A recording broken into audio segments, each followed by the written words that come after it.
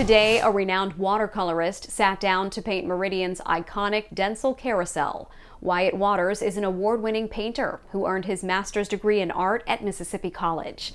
Waters, who prefers to paint on location as he did today, told us he has always loved the carousel. So it was time to translate that love onto canvas. It's a unique carousel.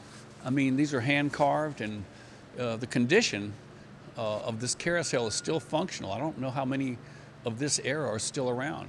So it's, it's my way of preserving it on paper. The Dentzel Carousel was built in 1895 and has been in operation since 1909. It is a National Historic Landmark and is the only two-row stationary Dentzel Menagerie Carousel still in operation.